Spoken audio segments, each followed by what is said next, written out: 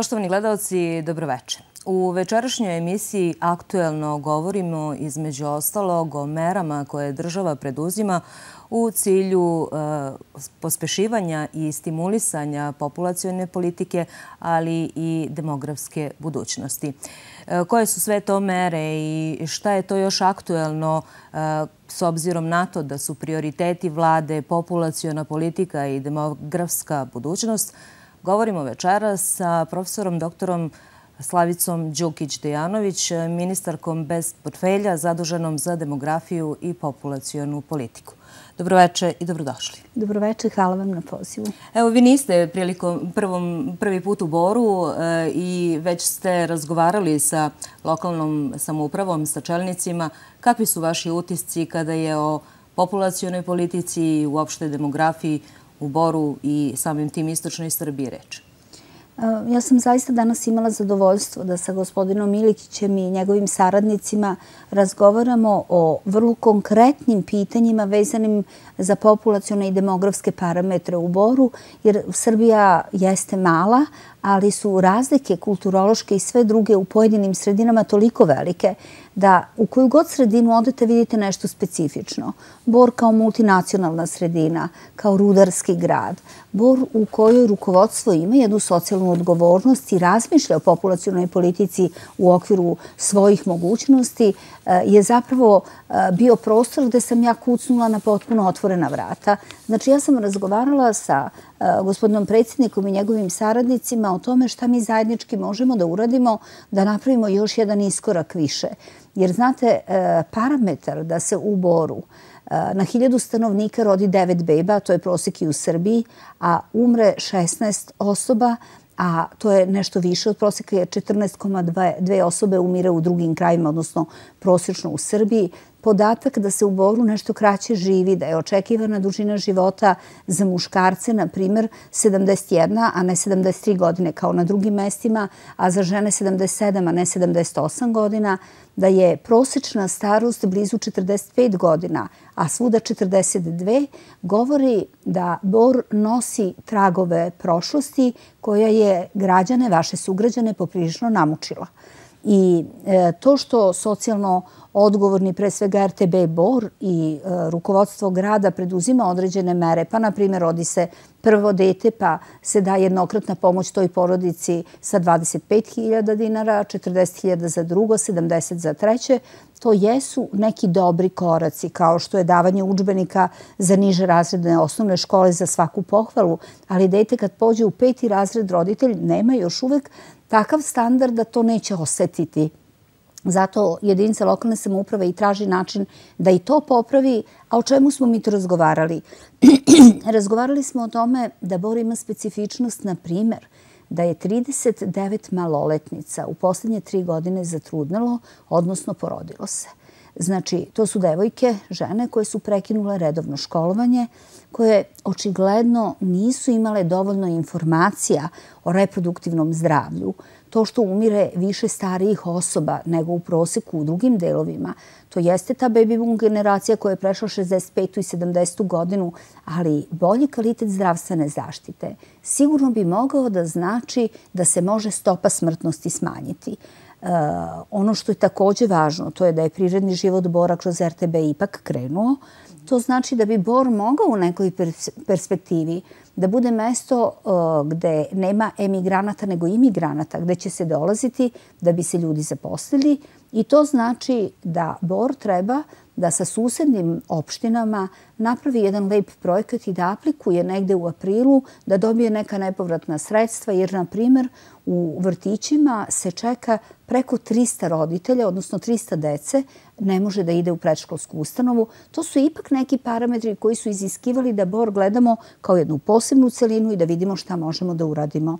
Dakle, naš razgovor je išao u smislu da bolja demografska budućnost Bora je vrlo značajan segment za čitavu Srbiju i da zajednički možemo nešto učiniti i upravo će u toku već naredne nedelje, nadam se, doći predstavnici lokalne vlasti, gospodin Dobrica je zadužen za taj segment, doći će u naš kabinet, doći će uh, u vladu Republike Srbije da vidimo šta je to što možemo da uradimo u narednom periodu za Bor. I pošto u delikatnom trenutku uopšte dolazimo u Bor, htjela bih da kažem ako sadašnja vlast i e, segment vlade na čijem sam jača, uradimo sve najbolje. Rezultati prvi će biti za 5 do 10 godina, dokle nemaju veze s politikom. Imaju veze sa budućnošću građana Bora. Da, to je ona demografska budućnost o kojoj pričamo. Međutim, e, neki parametri ukazuju na to da i prema procenama da će negde 2050. godine Srbija brojati svega 5 miliona stanovnika. Ako ništa ne preduzmemo. Da. Znate, svake godine nas u Srbiji ima manje za 35 do 40 hiljada. Znači, to je jedan zaista veliki grad. Bor ima 45-6 hiljada stanovnika. Znači, za jedan bor nas je manje, manje svake godine u Srbiji. E, stručnjaci su sredinom prošlog veka bili vrlo odgovorni i rekli su, ako se ne preduzmu takozvane pronatalitetne mere, ako zdravstvena zaštita starijih osoba ne bude na višem nivou, ako ne stimulišemo rađanje, mi ćemo sigurno doći zaista u ovu situaciju u kojoj smo. I 2008. godine je sačinjen jedan dosta dobar dokument na nivou vlade tadašnje Republike Srbije koji se zove Strategija za podsticanje rađanja, ali on bio u fioci. On prosto, iako je teoretski jako dobar, nije se primenjivao. Šta smo uradili 16. godine kada je sadašnji predsjednik, tada premijer vlade, ocenio da jedan segment na čijem sam ja čaru mora posebno ovim pitanjima da se bavi. Prvo smo ocenili da moramo da pogledamo taj dokument i da vidimo šta se to promenilo od 2008. do sada. Pa znate, 2008. nismo imali migrante. I migracije nisu bile ovako drastične iz sela u grad, iz manjih gradova u veće gradove, iz Srbije u inostranstvo. Znači, to je segment jedan koji smo uzeli u obzir. Drugi segment, e, mi smo stara nacija. Znači, zamislite, ako je prosek e, života 42, skoro 43 godine u Srbiji i ako u opštoj populaciji imate 14% do 15 godina dece, a preko 19% osoba preko 65 godina, e, to da ima depopulacijonih opština, to da smo stari, nas je prosto nateralo da u ovoj novoj strategiji analiziramo aktivnu starost. Da li je 65 godina ona granica, onaj limit kad neko treba da se povuče i da kaže e, nek mi sad neko pomaže i nek me neko izdržava? Očigledno nije. Osoba sa 65 godina kad ima pored sebe osobu od 85 godina može aktivno brinuti o toj drugoj osobi, pa kad ode u prodavnicu da kupi sebi nešto, ona će to učiniti i za nju, ili može biti izvrstan pomoćnik svoje deci i unucima za odrastanje. I ta međugeneracijska solidarnost je našla svoje mesto u ovom dokumentu, tako da smo ga mi osvežili, on je sad ponovo na vladi i doneli smo akcioni plan. Pa smo rekli, Ministarstvo za zdravlje mora da aktivira institucije za javno zdravlje i da podigne nivo znanja o reproduktivnom zdravlju. Ja sam kao lekar imala prilike da mi dođe devojčica koja je u drugom stanju i koja je prvi put sa mnom razgovarala o trudnoći, o reproduktivnom zdravlju, o temama seksualnog obrazovanja. U kući je to bila sramota, u školi nema u programima toga. Znači, mi ćemo morati malo da menjamo i zdravstveni i obrazovni sistem, da podižemo pre svega informisanost o javnom zdravlju, pa i o reproduktivnom zdravlju. Tako da, e, to su sve neka polja koja ukazuju da je multisektorski rad, da vlada ima političku volju, da mi E, ocenjujemo da je jedan od najznačajnijih nacionalnih e, problema zapravo taj natalitet koji je takav kakav je, ali bez multisektorskog rada i bez tog povezivanja po vertikali, da ta nacionalna politika se spusti u opštinu, u grad, tamo gde žive ljudi i da tu počnemo da rešavamo pitanja. Pa ako u ovom momentu nema mesta za 320 mališana, pa hajdete da napravimo plan da nam to bude prioritet iz budžeta za narednu godinu, da pomogne i Republika i lokalna sredina ovde, da to smanjimo bar za 200, pa će ostati 120 jel, mesta za neki naredni period. Dajte da napravimo partnerstvo s privatnicima, da e, opština i država ono što bi platila e, za državne jaslice ili predškolske ustanove, da privatniku pa da roditelj bude što je moguće manje opterećen, jer to je stimulativna mera. Da. Vlada je dakle, predvidela čak petostruko veća izdvajanja kada je reč o populacijonoj politici. E, ako se ja ne varam u opštini Bor, e, čak 80 miliona e, za tu oblast. Ja mislim da malo više. Preko 100 miliona, tako su mi rekli. I ovaj, naravno da me... Neka bude da su da, da, to posebno Naravno, znate, tu mhm. treba malo odvojiti ovaj, populacijona i socijalna davanja. Jer u današnje vreme... Za socijalne, ja se izvinjavam, prošle godine više od 260 tako Je, tako je. Ali vidite, svaka porodica koja ima petoro, šestoro članova, pa čak i da radi i jedan i drugi partner, jel? a da ima troje, četvoro dece, ona je u jednoj potrebi da joj država i lokalna vlast pomogne. Jer kolike god da su plate u Boru, naravno nisu velike, to nije dovoljno za petočanu, šestočanu porodicu. Te socijalno davanje za svakog takvog bi moralo biti jedna obaveza. A populacijona politika podrazumeva rađanje drugog i trećeg deteta. Ovde u Boru 55% žena u fertilnom periodu ima jedno dete, 38% dvoje dece, a e, 6%, 6, nešto posto troje dece. Da bismo se obnavljali, trebalo bi da ta distribucija izgleda ovako. Da 11% žena ima jedno dete, 44% dvoje dece i 45% troje. E sad vidite gde smo. Mi moramo da stimulišemo rađanje drugog deteta jer to je korak do trećeg. E, stimulacija prvog deteta jeste važna. E, mora prvo da se rodi prvo dete, jel? Ali e, roditelji, da bi ostvarili taj svoj roditeljski nagon koji je najtopliji, najjači, koji je prosto deo jedne biološke potrebe i prirode svakoga od nas, nekako se na prvo dete odluče. Već kad je drugo dete, tu se malo teže odlučuju, a treće samo hrabri, kao što čula sam ste vi. Hvala. Hvala. Jeste, ovaj, ali e, složit ćete se također da je e, bitan faktor u, u, e, tom, u toj odluci e, e, povećanja e, broja članova porodice e, važan ekonomski moment? Jeste. Ne jedini, ali jako važan. I zbog toga smo donali zakon o finanskoj podršci porodice koji će stupiti na snagu 1. jula gde smo ocenili da prvo žena mora imati malo ravnopravni status kada su u pitanju sva finansijska davanja.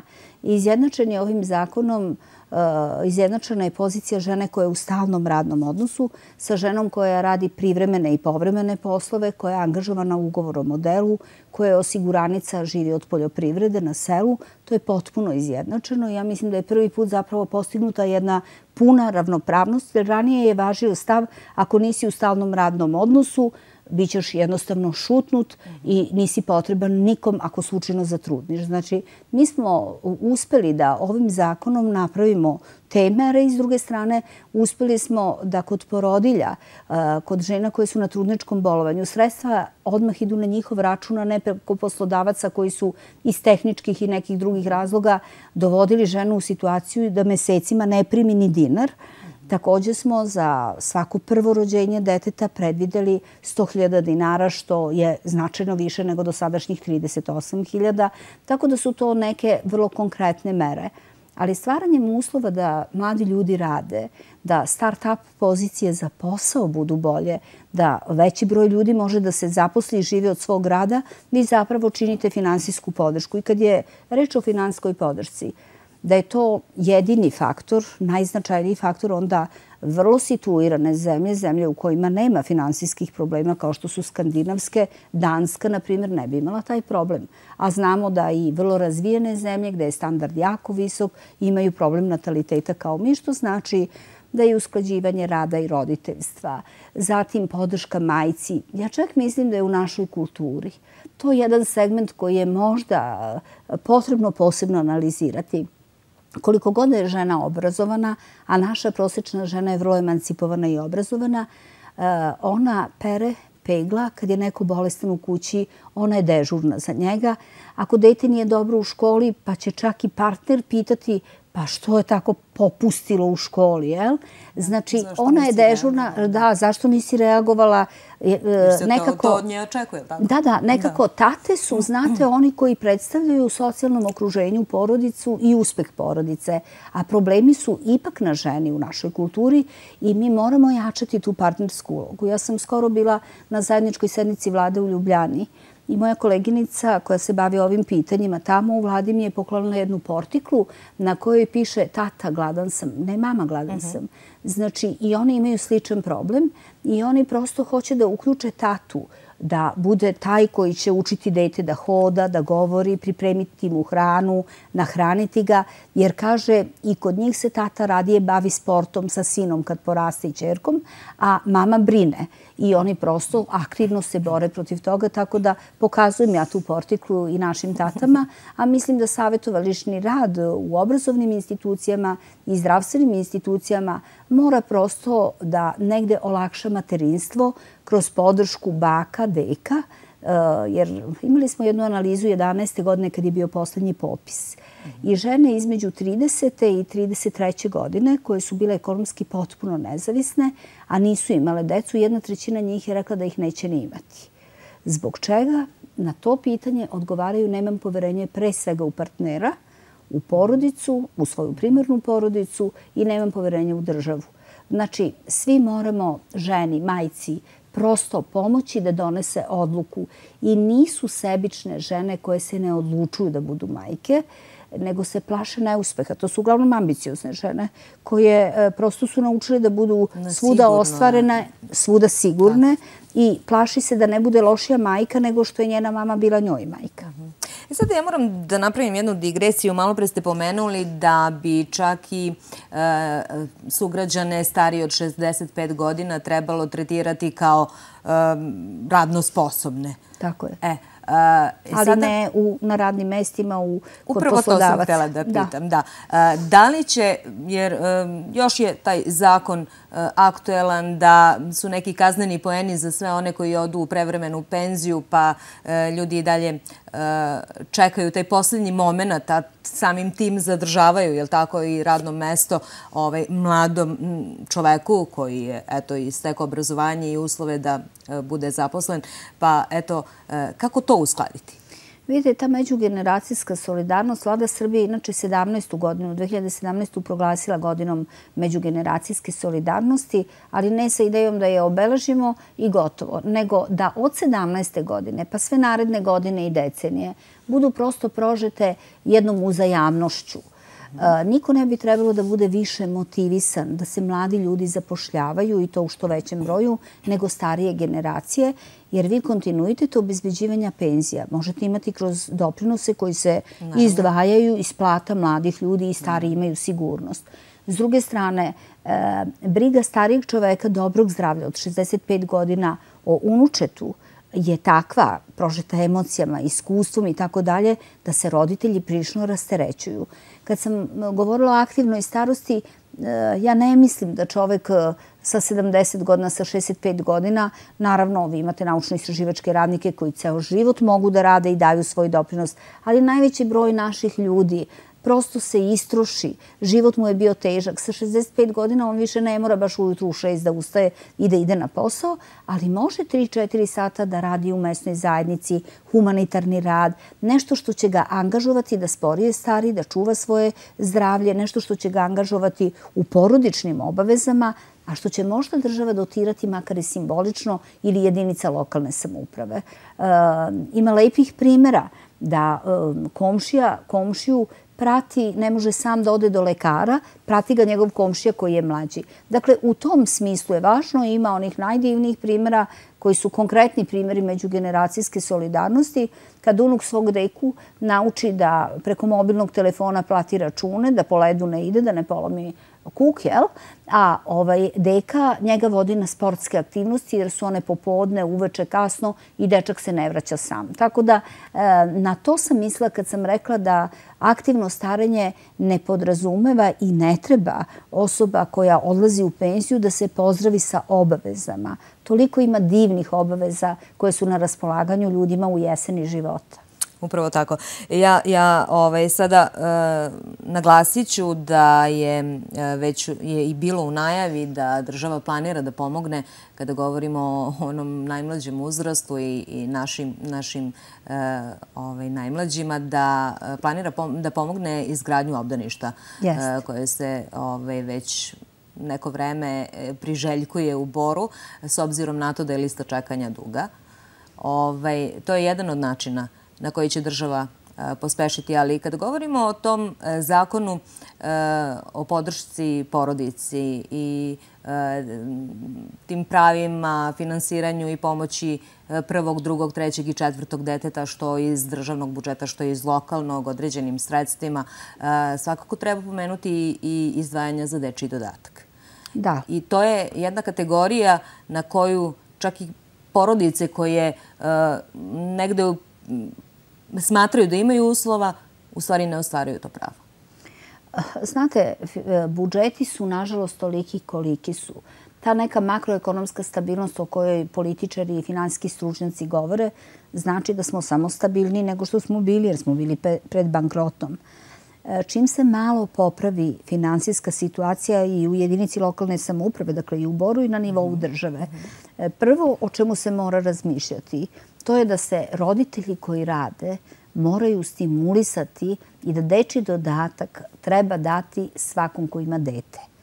Znači, Mađarska, na primjer, opet smo imali zajedničku sednicu vlade, kad radi dvoje roditelja, onda je neto i bruto dohodak potpuno isti, jer su oni oslobođeni, dakle njihovi poslodavci ne plaćaju nikakve doprinose ni za penziono ni za zdravstveno osiguranje država to dotira. Ali je Mađarska otišla finansijski u veći stepen stabilnosti i ovaj bolje stoji od nas. E, to je neki model koji ćemo sigurno upražnjavati čim ekonomska situacija to dopusti. Vi imate mlad bračni par koji bi išao možda na treće dete, ali prosto kad pomisli šta mu sve to treba, plaši se jer su plate još uvek često minimalne, nedovoljne i e, sa porastom standarda, sa većim stepenom zapošljavanja, sa podizanjem pre svega ekonomskih uslova života i boljim kvalitetom života, mislim da ćemo morati jako puno da radimo upravo na tom segmentu. Da, i složit ćete se da e, e, za porodicu i decu treba i više od dve godine, jel?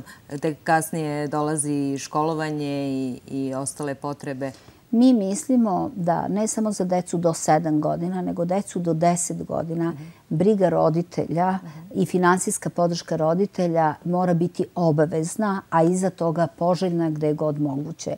Jer veće dete, veća potreba. Upravo to. S jedne strane, s druge strane, zaista e, roditelj, e, kad beba ima godinu dana, negde je tu podrška i primarne porodice i rođaka i tako dalje. Kako dete raste, ono je i emotivno i vaspitno, a i finansijski prepušteno samo svojim roditeljima, a potrebe rastu.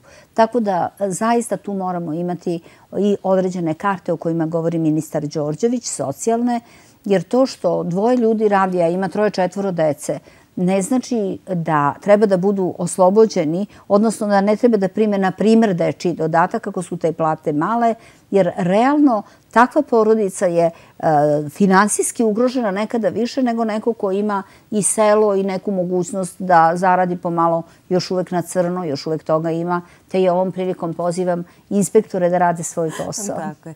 Evo, svakako je, pretpostavljam, u najavi možda i ona dugo se o toj e, pomoći, vrsti pomoći pričalo e, majkama sa troje dece do e, punoletstva trećeg deteta. Mi mislimo da bi, verovatno će tu morati da se ide korak po korak, ali majke sa troje dece su heroji modernog doba i ovaj, te majke, posebno one koje rade, treba da budu stimulisane koliko Verujte, prave se kalkulacije, veliki broj ljudi radi na tome. Ministarstvo financija nam stoji na raspolaganju i vidjet ćemo šta tu možemo da uradimo, ali ćemo se jako potruditi da e, stimulacija rađanja trećeg deteta i podrška u odgoju trećeg deteta malo više pređe i na obavezu države. E, ja moram da napomenem da ste vi predsjednica Saveta za prava deteta, e, pa evo tim povodom, nažalost, sve češće smo svedoci E, nasilja e, nad decom, e, zatim života i rada na ulici i siromaštva. To je tačno. Znate, i vršnjačko i porodično nasilje i deca uličnih situacija su naša velika tuga i mi se s tim moramo suočavati i kroz institucije sistema boriti i kroz obrazovanje također. Mislim da dosta govorimo o posledicama, a ne baš mnogo o uzrocima. Odnosno, ja mislim da bi naš preventivni odnos prema svemu tome morao biti veći. Znate, budući nasilnik je bio agresivno dete.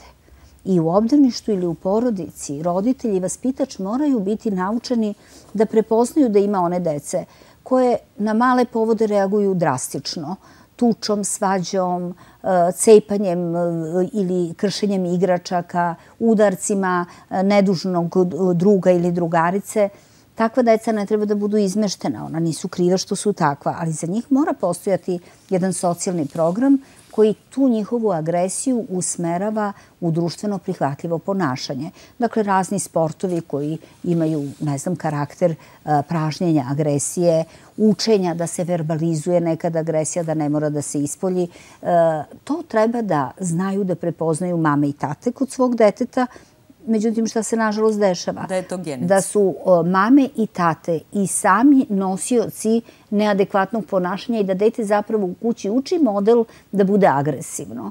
Zbog toga ta prevencija u najranijem uzrastu, u predškolskom uzrastu, ima e, dalekosežne pozitivne posljedice Ja zaista mislim da obrazovni programi za vaspitačice, vaspitače u obdaništima, e, struktura, poruka koju šaljemo budućim tatama i mamama u savjetovalištima za trudnoću i za mlade roditelje, mora obavezno ovaj segment e, uzeti u obzir i naravno moramo konstatovati da su sudski procesi predugi kad je neko nasilnik, da se na kazne još uvek dugo čeka, ali se taj period ipak skraćuje. Ja moram da, da vas pitam, vi ste i neuropsihijatar, ali verujem složit ćete se da je strah uh, opšte prisutno stanje i, i kod, bez obzira na uzrast.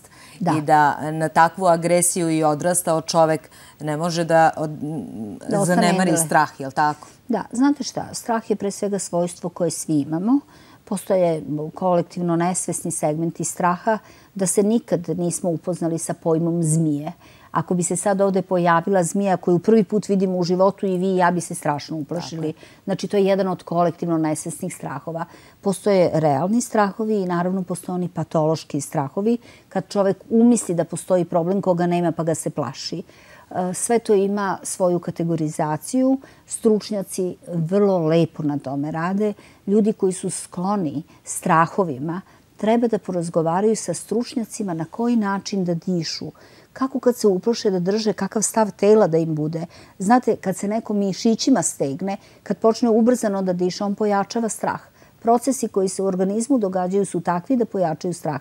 A najveći broj ljudi koji se uplaši, počne brzo da diše, stegne se i zapravo pogoršava svoje stanje. Zbog toga te vežbe relaksacije, opuštenosti mišića, pravilnog disanja, razmišljanja o nečemu što je neutralno, treba da učimo eto i u programima javnog zdravlja, jer je strah zaista pokretač mnogih neurotičnih manifestacija kojih je sve više u modernom svetu. A to sam vas pitala upravo iz tog razloga što eto i e, prosvetni radnici, čak i zdravstveni, nailaze na situacije agresije i e, e, izostane taj efekat reakcije samo iz tog straha.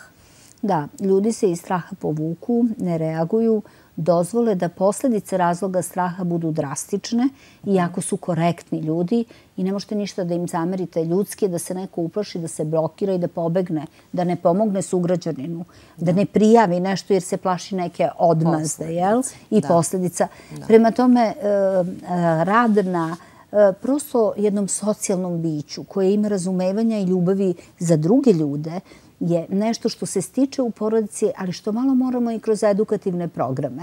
E, deca nekih zapadnih zemalja u kojima nam se mnogo toga ne dopada, ali moramo izdvojiti šta nam se dopada, uče da e, savladaju strah, uče kako će reagovati ako se pojavi neki neobičan čika ili dečak, kome to treba da kažu, šta se kaže vaspitačici, šta se kaže mami, tati, negde nama to izostaje. Mi kulturološki stavljamo neke stvari po tepih, pa nam se onda to vrati kao bumerang. Da. Evo na kraju razgovora, zaista teme o kojima govorimo večera su neiscrpne i iziskuju više vremena, ali evo dotaći ćemo se i e, održivog razvoja, već su definisani ciljevi i evo da, da našim gledalcima napomenemo šta je to što nas čeka u perspektivi. Da, znate ta agenda 2030 koju su donele Ujedinjene nacije i čiji smo mi potpisnici, pa smo se obavezali da radimo na njima, su ciljevi održivog razvoja koji žele e, da smanje razlike među zemljama, bogatim i siromašnim, i unutar jedne zemlje među ljudima. To je borba protiv siromaštva, zapošljavanje, e, bolji nivo zdravstvene zaštite, bolji nivo obrazovanja, e, to je zdrava životna sredina.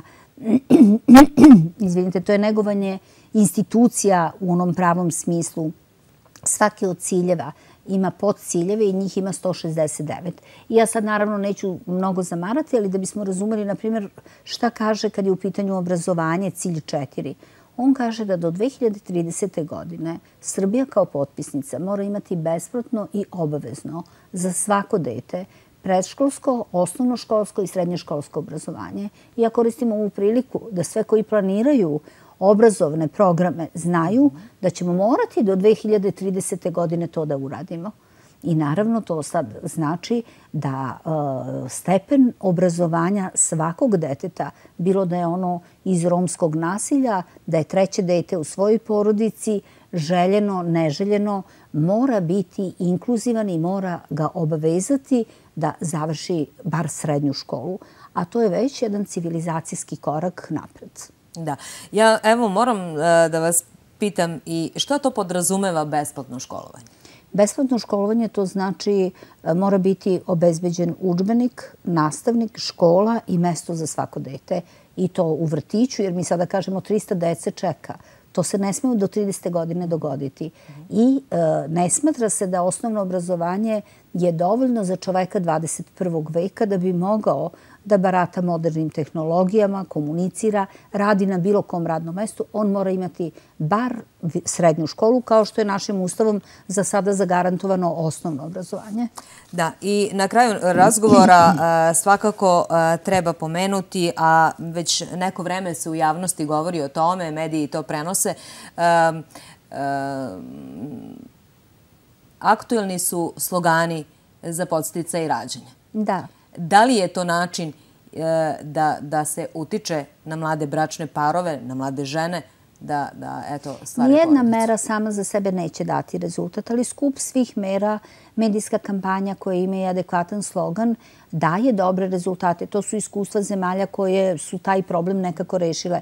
Evo, podsjetimo se Danske koja je imala onaj čuvani slogan, neću ga reći baš u originalu, ali volite se pa malo drugačije za Dansku.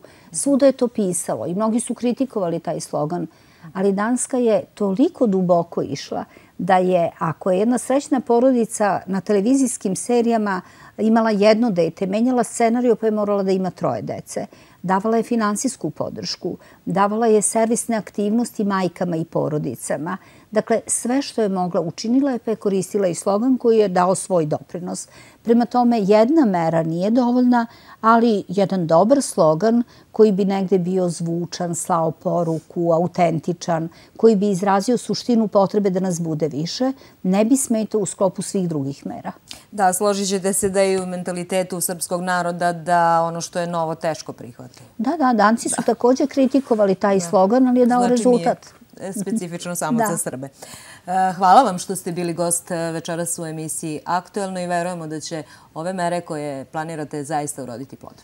Hvala vama na pozivu. Ja bih građane Bora zamolila da se prisetimo da nema lepšeg plača od dečijeg plača. Hvala još jednom. Poštovani gledalci, pratili ste emisiju Aktuelno. Hvala na pažnji i prijatnu nastavku programa.